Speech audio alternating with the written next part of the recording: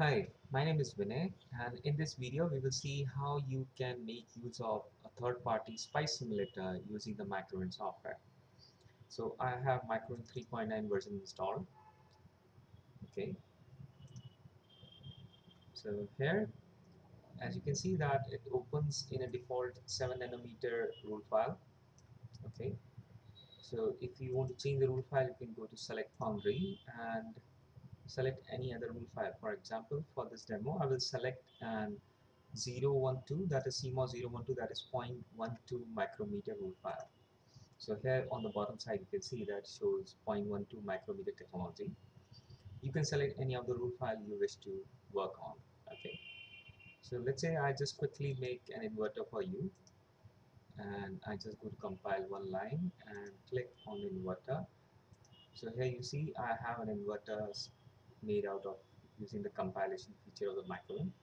So I double click on the gate in one and apply as a clock, okay, and make it slower one and ask him to visible in simulation.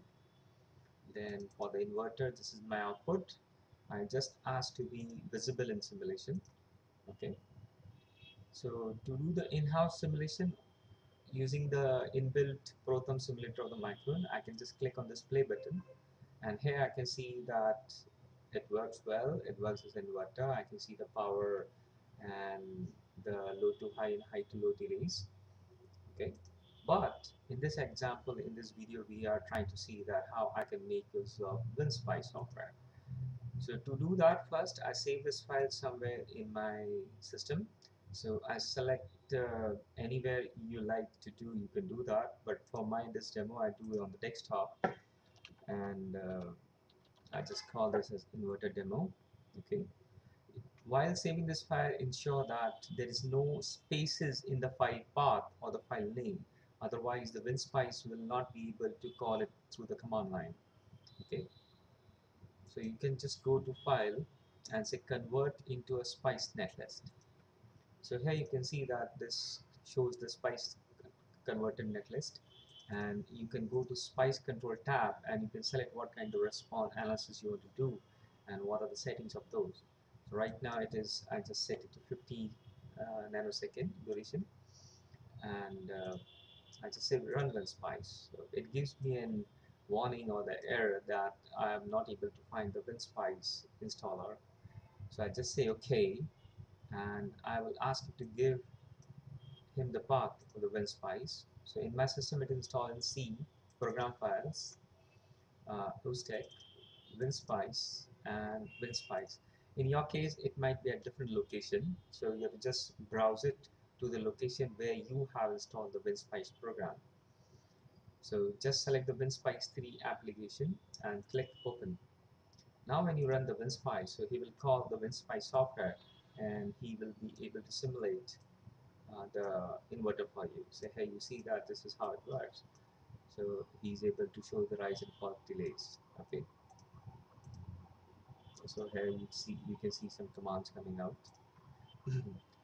now whatever changes you bring it over here, so that will be reflected in the WinSpice also. For example, I take a virtual capacitor and attach to the load.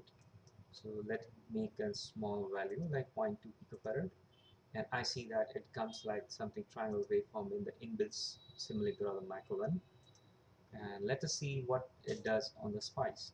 So I say convert into a spice netlist run WinSpice so the same response comes on the WinSpice also.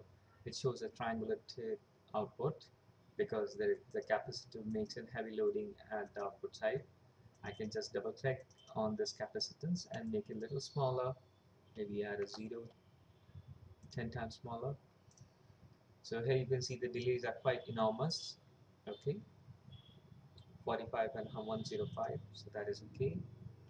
And I convert into spice and run WinSpice so here also I can see that yes the delays are quite significant in WinSpice also okay? And you can do all kind of analysis possible in WinSpice for example you can do a, a DC curve transient analysis okay DC analysis and uh, you can do the AC analysis you can ask him to show in the DB yeah so this was the response of the inverter output coming up you can see the phase response also So there is a phase response. So all these analysis are possible using the WinSpice software and Microwind now. Okay, thank you very much.